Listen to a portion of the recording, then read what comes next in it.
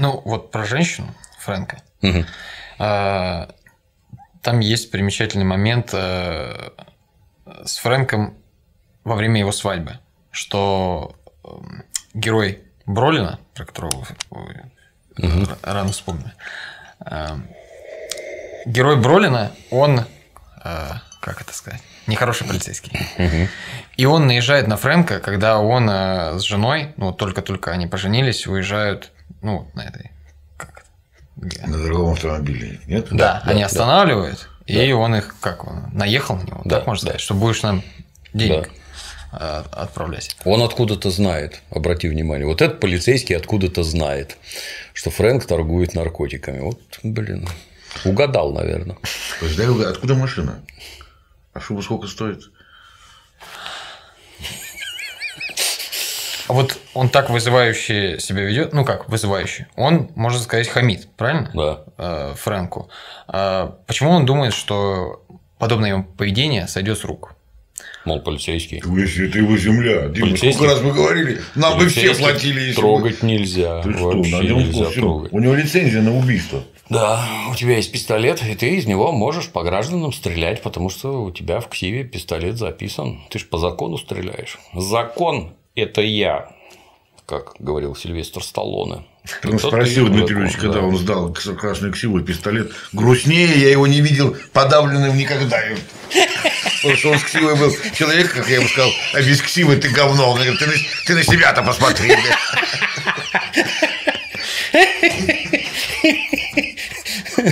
Полицейского убивать нельзя, поэтому он и хамит. То есть, и, ну, это совершенно очевидно, что ты продаешь-то только с моего благословления. Вот. Это я разрешаю, и ты продаешь. То есть, получается, не, не важно, насколько Фрэнк ну, большой э, Да. в делах, Да. полицейский считает, что он выше его Тут, стоит. естественно, да. Ну, тут несколько неправильно все это показано, потому что этот сам организованная преступность, организованная, она в первую очередь про сращение криминала, то есть уголовников с государственной властью.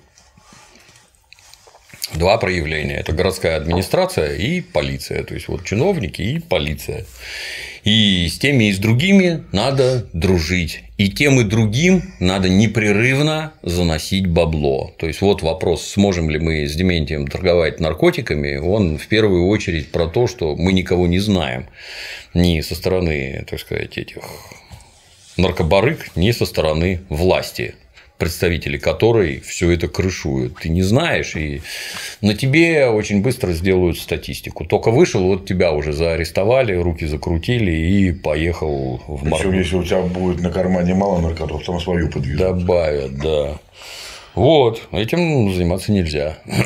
А этот, ну, то, то есть тут непонятно, как это, как это он, вот он общается с итальянцами, вот он все знает, там вообще, вот ты такой прошаренный, прохаванный, такой умный, и никому денег не платишь. Такого быть не может. Просто при таких объемах продаж еще и такого товара. Такого не может быть. Поэтому это чистое кино. Представляешь, там еще Ну, а то, а, минут. А то, что хамит, ну, это от конкретного человека зависит. То есть, Бролин, он там суровый мужчина. С ним, кстати, Джин Пантекорва из семьи Сопрано там вокруг прыгает с Не, он, сумками. он как опер себя правильно вел, именно натиск и пугать ничего, себе, ты на моей Да, земле. Ну, а как разговаривать? Только так разговаривать. странно, что бандит негр сказал, как так, я работал, Да. зернышко к зернышку, ты ничего не делай, тебе доли давай. Золото собирал, Золото а собирал, теперь а тебе- что?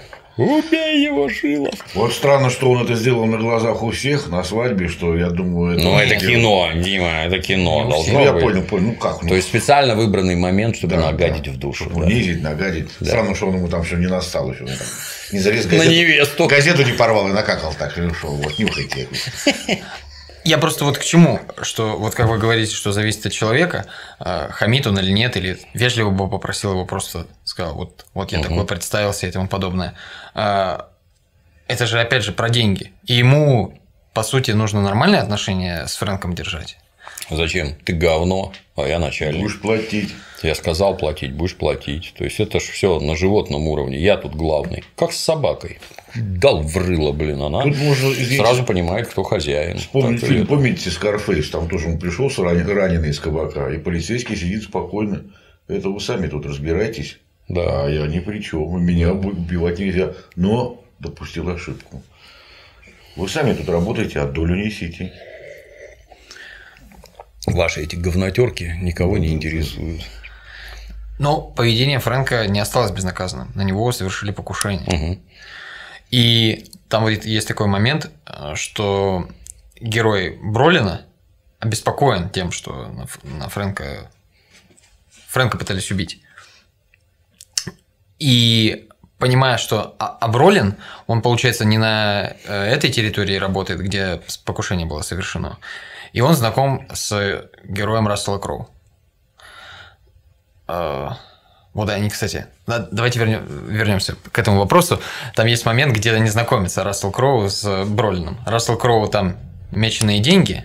А Они пытаются вынюхать, э, что происходит с вот этим чистым мгм. героином. И Бролин получает, по-моему, там 20 тысяч 20, долларов. Вот. В сумке деньги, они хотят закупить товара, но э, человек... Они выехали из Нью-Джерси и заехали на территорию Нью-Йорка. Да. Да, где как раз-таки рулит Да. Бролин. И Бролин, а, не зная, кто эти люди, отнял э, деньги у человека, сумку с деньгами. Что Ну, это? не знаю. Совершенно справедливо отнял. Ну, он же не знал, что это тут работа полиции какая-то ведется. Ну, то есть, Так получилось. да. И герой Кроу подбегает и говорит, парни, тут неудобно получилось. Э, Деньги все там у меня пронумерованы, там, тому Мгм, подобное. А давайте, это мое. Вот. Но он так э, наивно, мне показалось, что в этом моменте действует. Они даже немножко, ну, видятся, что в шоке в каком-то, что к ним так обращаются. Ну, типа, ты такой простой, мы тут деньги забрали, а ты хочешь, ну, обратно. Но они, тем не менее, отдают. Он представился как мент, и, естественно, они его воспринимают как полицейского. А то, что он сказал, что все купюры переписаны, и не то они там начинаются на 35 или что-то там такое, я уже Ну, в общем, не номера есть. Они Да. проверили, помнишь? Номера, да, посмотрел, достал, да, действительно так. Ну и тут нет никакого смысла. То есть вот у него значок Иксива, вот деньги именно те, что он говорит, никакого смысла припираться нет вообще. То есть на 20 тысяч долларов там говорить-то не о чем. На, Забери, чтобы больше я тебя здесь не видел. В театр захочешь сходить, сперва позвони мне и получи разрешение. Нахамил, опять-таки, как подобает джигиту. На этом закончили. Там нет предмета для спора. А, кстати, они смотрелись хорошо, если бы не жетоны. Ну, вылитые бандиты, да, такие. Ну, а как, как ты оперативника от бандита отличишь? Хотелось бы узнать. А вот Ричи, вот то, как он себя с ними ведет и тому подобное. Да, он честный, но вот как по-вашему, он как э, полицейский, вот то, как он ведет свою работу, э, нормально ли, что он такой немножко, ну, добрый, если правильно так сказать? Почему нет? Ну, люди же разные. Ну, в его работе, в его стезе э, такое ему не вредит разве? Абсолютно нормально. Раскрываемости главное, чтобы не вредило, как ты понимаешь. Не вредит даже то, что он дружит с бандитом с детства. У него же там друган бандит. Ну, нас-то это тоже нахлобучило, как ты понимаешь, когда в 90-е годы половина друзей ушла в уголовники, а ну вот нам по тридцатнику, да, грубо говоря, одни тут, а другие здесь. Ну, день рождения вместе Да. И что? Ну вот мы при встрече там. Привет, конкурирующие организации. Все дружно глумясь, а что делать? И как дальше жить, расскажите. Никто там никого это не сажает, не стреляет с одной стороны, а с другой стороны, ну вот так жизнь сложилась. А у них с детства так. Нас-то капитализм накрыл только вот в 30 лет, грубо говоря. А у них с измальства так вот получается. Это печально. Еще такой художественный фильм есть Черная месса с Джонни Деппом, где там вообще в тупую у сенатора США брат, уголовник какой-то там мега авторитет в городе Бостоне. Это я вообще не представляю. При советской власти такое было вообще невозможно. Как это? Как это? И опер из ФБР, он вместе с ним вырос, там, понимаешь, и договариваются, давайте там мне мелочевку всякую сдавать будешь, а я отчетность, а я глаза прикрою на то, что ты делаешь. Это вообще... Чисто, чисто лени, гад. Да, это вообще как-то у вас так получится. Там смотришь, как какая-то, с одной стороны, для нас, привыкших к тому, это какая-то вообще дикая фантасмагория, такого быть не может. А с другой стороны, оно так и есть. То есть, это Black Mesa – это одно, наверное, из лучших расследований на тему уголовщины в США там, за весь 20 век. Очень вот, книжка отличная вообще. Кино послабже. Ну, единственное, что там Джонни Депп действительно как актер выступает, играет негодяя, не дурачка там чеканутого, как это он обычно сам себя изображает, а тут все-таки актерская работа хорошая тоже такое. Как, как про бандитов мне понравилось. Так-так. А, ну вот, Бролин с Ричи был знаком. Ну, с Ричи, Да, так да, героя да. Рассела Кроу зовут. И когда совершается покушение на Фрэнка, Мгм. Бролин бежит э, Кроу и просит его, ну, э, выражает свою обеспокоенность безопасностью Фрэнка за пределами, получается, своей территории, вот этого Нью-Йорка. И так и говорит, что дойную корову надо беречь. О чем мы и говорим здесь. Опять в Сереженьку нашего стреляли. Стреляли, ай-яй-яй. Так ведь и убить ненароком могут. Вот. Вот у меня такой вопрос. Э, Это все, ну, мы же зрители, мы же понимаем, кто есть, кто нам показывает Да, да. больше эпизодов, чем знают сами герои.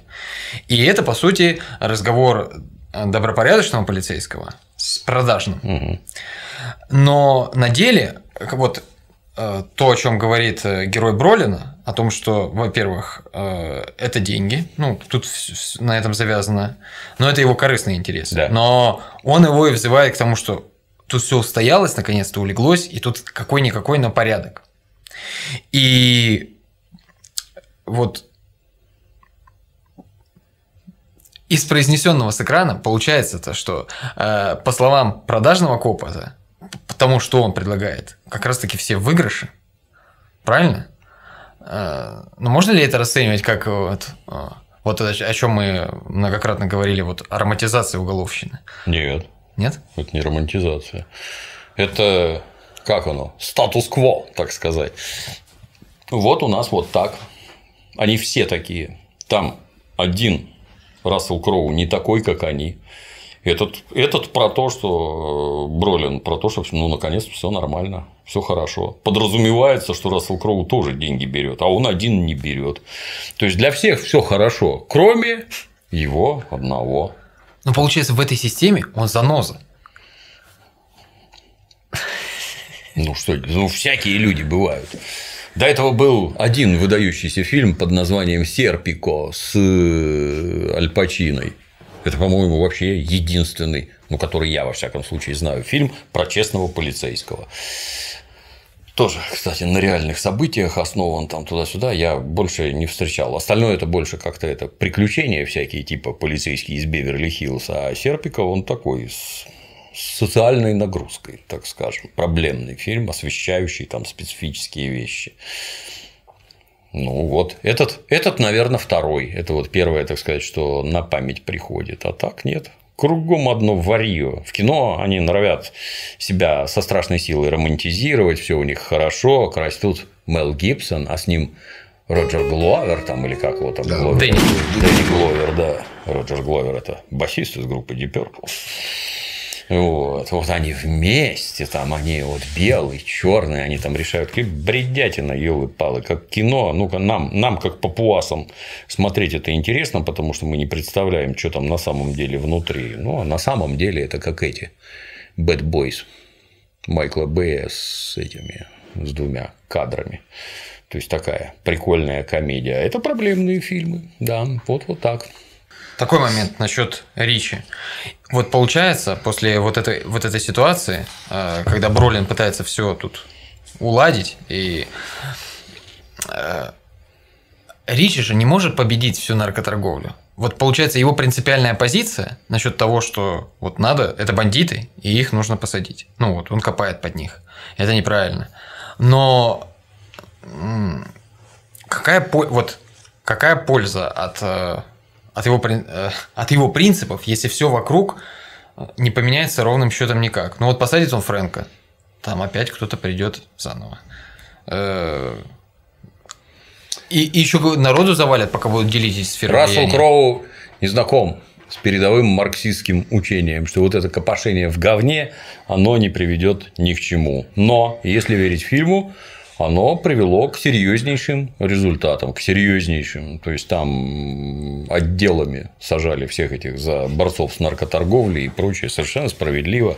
Ну, там какая-то глобальная операция. Следом, вот там они тренировались еще, а следом они уже, когда мафиозные сообщества душили, там еще серьезнее подходили. Есть такой художественный фильм Донни Браско, где опять Джонни Депп играет агента ФБР, внедренного в итальянское преступное сообщество. Есть две книжки. Одна книжка, по которой кино заснято, а другая книжка, которую он написал после судов уже, когда суды закончились, ну, Джонни этот, как его, Донни Браско этот, посадил 200 человек, ну, 6 лет внутри ОПГ итальянской, ну, и 200 человек посаженных. В общем-то, ты как оперативник ты фактически джедай, бьешься там на стороне добра с темными силами. Надо ли это делать или не надо?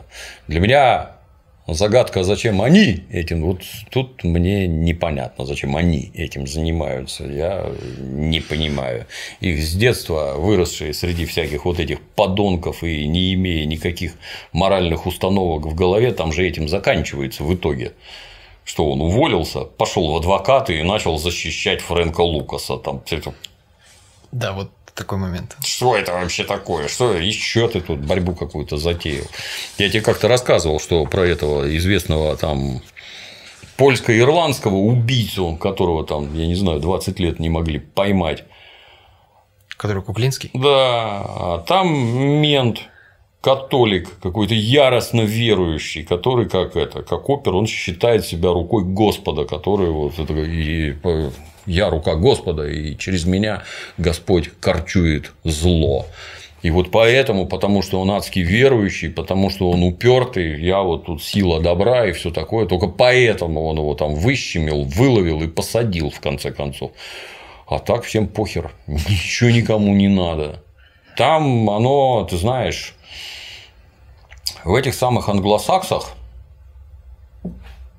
еще гражданин Герцен подмечал, что в этих западных людях каждый человек содержит в себе полицейского, судью и всякое такое. Они ведут себя не так, как мы, совершенно по-другому. То есть они законопослушные, осознанно законопослушные. Вот так вот я делать не буду, и вот так делать не буду. И вокруг меня так делать не будут, потому что так нельзя. И это вот на бытовом уровне там серьезнейшим образом блюдется. Поэтому там чистота и порядок, потому что граждане сами выполняют роль полицейских для самих себя. А когда в подобные сообщества попадают какие-то подонки, ну, например, приехавшие из Италии, Сицилии, мафиози, это как в анекдоте. а у меня козырь, помнишь? Говор... Тоже говори, как там, я не помню. Тут, тут мне карта да, так и пошла. Ну, бросаем карты на стол, давайте проверим. Джентльмены верят на да, слово. Тут, тут ну, мне вот карта мне... так и пошла. То есть, вот люди, которые живут понятиями там, 15 века, когда приезжают в цивилизованную страну. Тут вообще как Дворники Скарфейс. Эта страна лежит перед нами как шлюха и просит, чтобы ее трахнули, блин, просто просит. Ну, конечно, когда вот такие обезьяны попадают в приличное общество, то нетрудно догадаться, что там будет в целом. Я забыл, про что ты спросил, Джон. Э, Ну и честный, повторюсь, что честный, он просто исключение. Это, это в фильме многократно подчеркнуто, что ты вот один такой. Найди себе еще кого-нибудь. Ну и там чисто семь самураев. Он себе ищет там замечательных парней, которые там кого-то за жопы хватают еще. Они такие прикольные. Понять-то невозможно. А что вы? А, а поди- а на основании чего вы честные? Это раз. Что вас к этой честности ведет? Второе, а как вы тут службу несете? Почему коллеги по опасному бизнесу от вас до сих пор не избавились, что вы Странно, вот не это даете было. деньги зарабатывать вообще? Нафига это? Там, между прочим, с деньгами-то у всех не очень. Несмотря на все рассказы. За копеечку удушится любой, наше любимое, что когда там какой-нибудь частный детектив или полицейский там, скажи мне, кто это, что... И ничего не скажу. Раз, десятку баксов, десятку. Ну вот тут вот это, вот это вот. Я, я так и представляю, как, как ты уголовнику даешь 500 рублей, ну расскажи мне. Головник раз. Добавить бы надо, Марин. Да, я, я даже представить не могу, что после этого будет. А там нормально как-то, блин. Местами очень странно.